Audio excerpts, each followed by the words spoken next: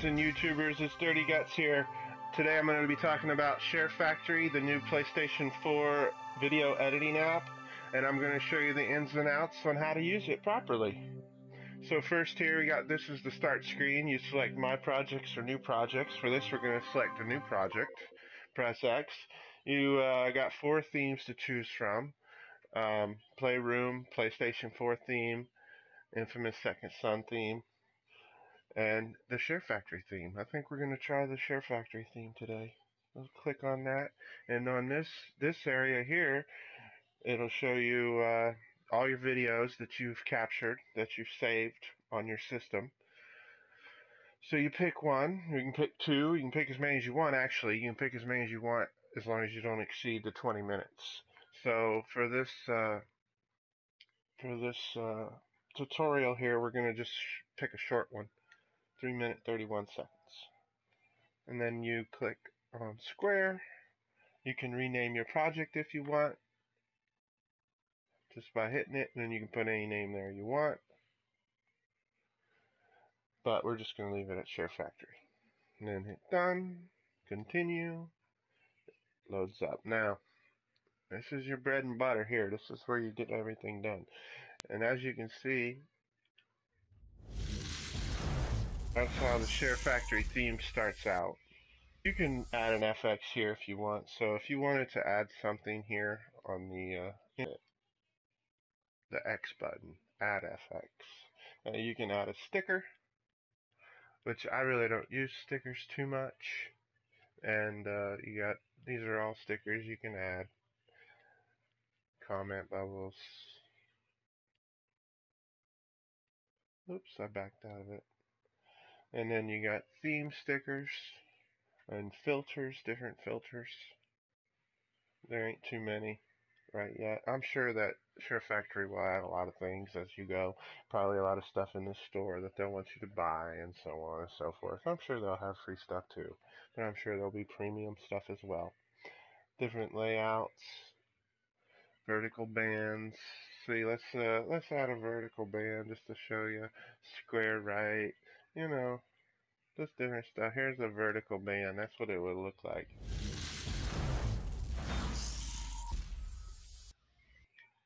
And then say you didn't like that. Well, you hit square. You go to edit FX. Hit horizon, horizontal and delete filter. Confirm. And it's back to normal. Just like so. So like I said, normally I don't do much to the to the intro. I leave that the way it is. So let's okay, and then so next you got a transition right here. So say you don't like that transition. You just go to the transition, make sure it's orange like it is there. Hit edit. You can uh well actually no, you'll hit you'll hit square, you'll hit edit transition It'll ask you if you want to delete the transition or replace it. Let's replace it. And then you got different dissolves and different wipes and different cinematics. There's the wipes.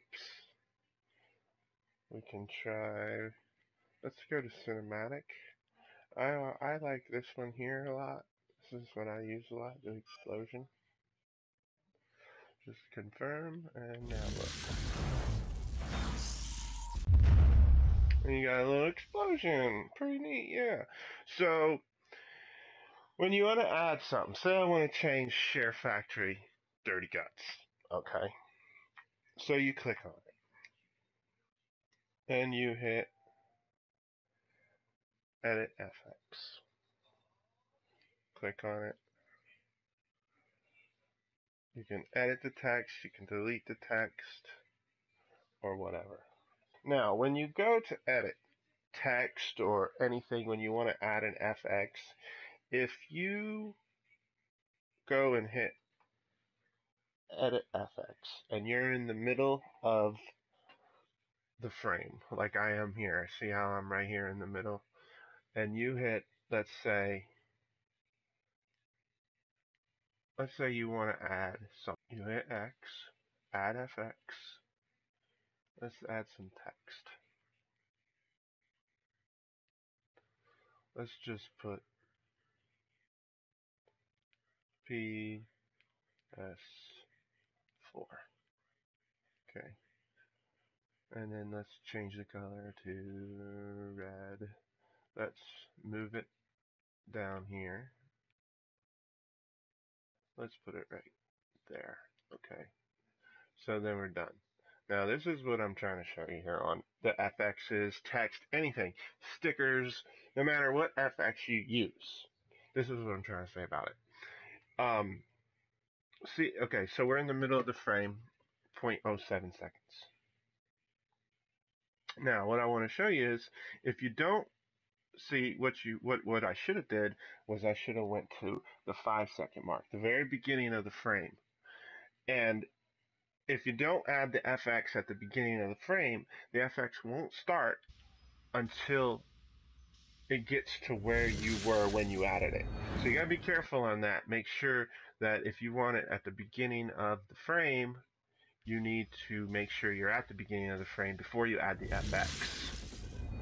And then bang, bang, boom goes into the gameplay. So what I will do is I will go back. I'll hit square. I'll go to edit FX. Hit next FX. Edit. Delete confirm. So now I would go back, I would back up right at the beginning. Press X, add FX,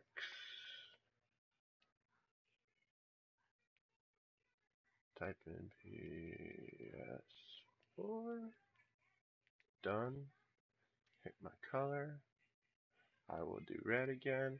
If I want to move it a little bit, we can move, you can move it wherever you want. There we go. Done. Now, as you'll see, the PS4 will be at the beginning of that frame and end at the end of the frame. So, you know, that's how the FX works. If you want to, you know, say you only, say you do only want it halfway through the frame. Well, then hit, go to the, go whatever point you want the FX to start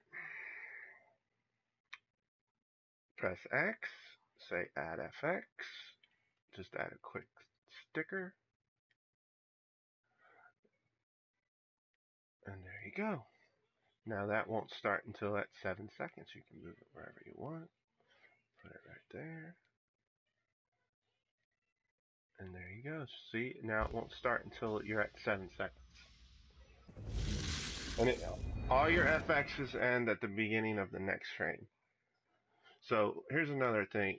Let's let's change this also. So we will let's change this transition. Let's go to edit transition, replace transition. We'll try something different this time. Let's try uh, a dissolve or fade to black. Usually a fade to black you wouldn't really use, you know, in the middle of a video, but we're going to use it anyways just to show you difference.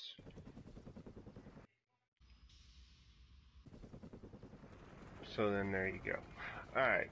So we're playing, say, say, okay, you didn't, say you didn't want somebody to see that, okay, say that you didn't want that part to be in your video. So, this whole beginning part, you can just, you don't have, you can just fast forward it a bit, okay. say all you want to have people see is your kills, you want to make like a kill reel, you know. So, your first kill would be right there. So what you'll do is, you'll hit square, go to split clip, and just hit X, confirm. And now, say you don't want this in your video, just press square with the little trash can down there, confirm, delete clip. And now it just shows your kill. And say you want to put an FX here, but you don't want it to, if, if you put an FX right here, Okay, let's say that. Let's add something. Another FX tutorial here. You'll press X. You'll hit Add FX. We'll just put, let's see what we got. Let's go to stickers. Let's go.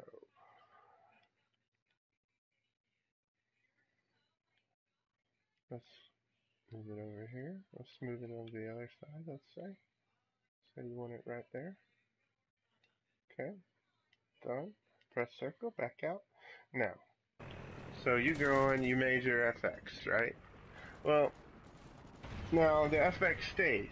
Well, why does it stay? See, the only way to make the FX go away is to split the clip. So uh, say you want the sticker to go away after you get this next kill.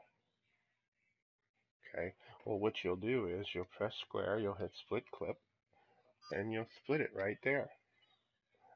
And now that that FX will only last as long as the next split, as you can see. And see, now it goes away. So that's the only way to end an FX. If you just, you know, never split it and it's all one clip, it will last to the end of the video. So when you want that FX to end, you have to split that clip. It doesn't do anything. It doesn't hurt if you split the clip because once you render the video, all those little blotches will be out. It'll still go smooth. It won't it won't stop right there or anything. So I wouldn't even add a transition or nothing. Um, and that's how you uh, end an FX. And that's any FX. That's stickers, transition. That's stickers, um, text. Any FX you add, that's how you can. That's how you make the duration of it. As you can see, it ends on the next clip. So now you got your two kills right there. You pwned them. And now we're going to go some more. Okay, this is so you don't, you know, did. No, see, I died, so I'm gonna, I'm gonna edit, delete all this. I don't want anybody to see this. So I'm just making a kill clip. So what I'll do is I'll split it here, delete it, and now we can watch it for a second. Show you how I did that. So it just looks like a never-ending, you know, bunch of kills. Boom, done. Now you go on to the next one.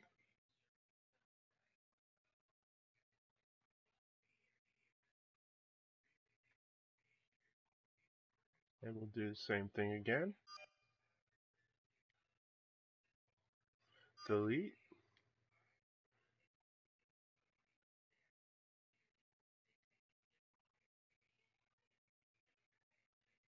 Split again.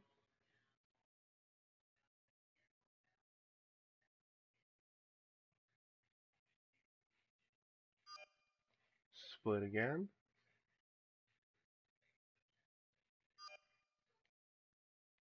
Delete that. Delete all that. So as you can see, you know, that's how you do split clips and if you, like I said, just make a bunch of kills and whatnot. So another thing about Share Factory is you can only have 40 different clips. So you may have to, if, if you want to make a longer you know, kill streak or video or whatever, you have to render the first video and then bring that and then start a new project, bring the video you already made into Share Factory and then add other videos to it and start splitting your clips again. So, um, that's part one of my Share Factory tutorial. Share Factory only allows you to make a 15 minute video. So check out part two of my Share Factory tutorial. Thanks for watching and subscribe to my channel. Have a great day.